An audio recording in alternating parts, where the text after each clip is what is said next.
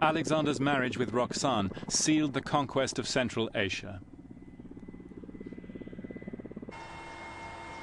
He now returned with his new bride to Balkh in northern Afghanistan to prepare for the invasion of India. We flew there in a warlord's helicopter.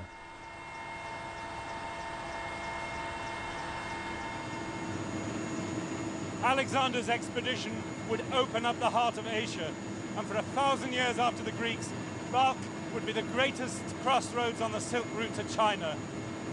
You can see its ruins below us, the walls stretching for seven miles, with the remains of a hundred Buddhist monasteries, Zoroastrian fire temples, and later Christian and Jewish settlements, and the huge mosques of the Muslim period.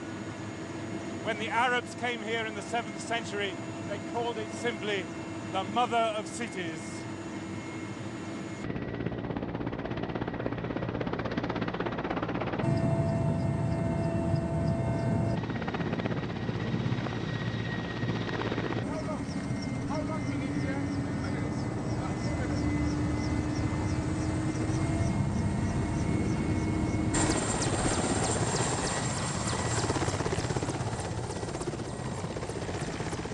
Fate, though, still had another card to play in this story.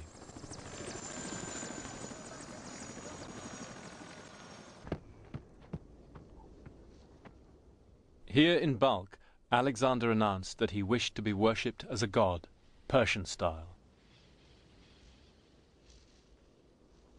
You can imagine how that went down among the Macedonian veterans. And now, for the first time, there was a serious plot against Alexander's life. A group of royal pages planned to assassinate him. They were betrayed and tortured to death.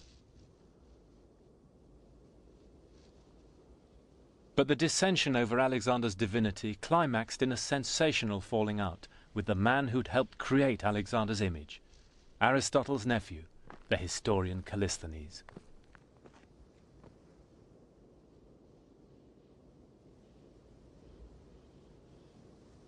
The final rift took place here in the citadel at Balkh after a, a bitter exchange.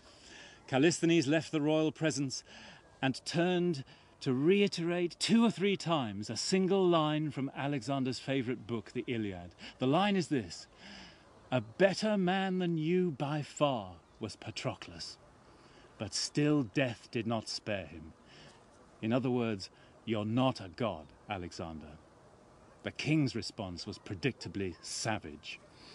Using the page's plot as a pretext, he arrested Callisthenes and had him tortured and crucified.